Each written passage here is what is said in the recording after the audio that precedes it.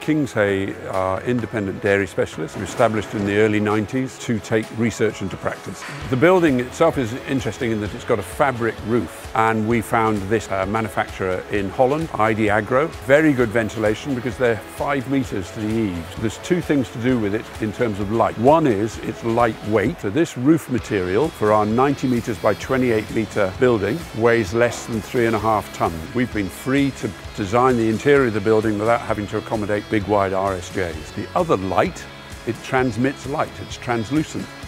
We chose to put robot milkers in for a number of reasons. We need to be collecting a lot of data to be providing good information for research. The whole process is done with a single attachment. The cluster goes onto the cow's teats and the first thing it does is clean the teats. It then stimulates milk letdown and fore-milks the cow and all of that sent down a waste chamber. It then milks the cow and before the shell comes off each teat it applies a post dip. So it's one attachment does the whole thing. A real benefit of any of the robot systems is that it milks the cow's quarters individually.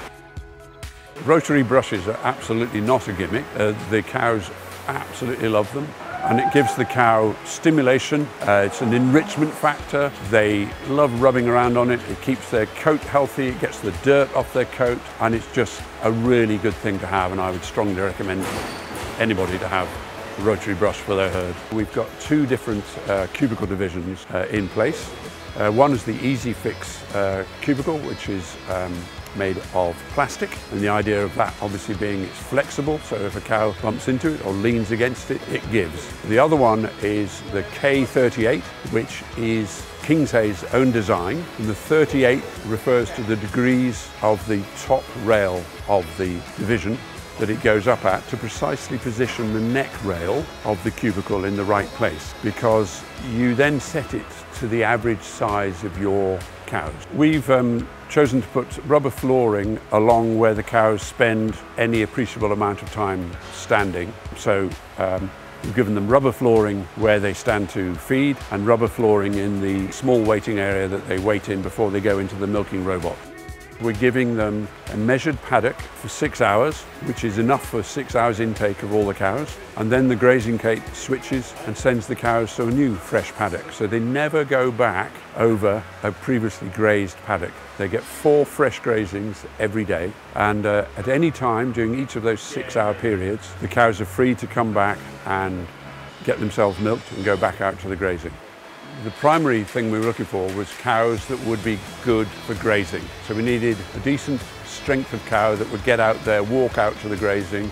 My colleague David Pettit and I uh, came over and uh, David looked after us, took us to see quite a number of uh, herds uh, uh, and so on and we were able to see what was there. And um, once we came back home and he sent us the records of the cows and we were able to look at the records and then come back over and actually select the animals we wanted. And then the shipment of those was arranged in artic loads, 40 at a time, over the space of one week. Each truck arrived and the cows, they walked off, good as gold, four in the morning, quietly walked into the building, no problem at all.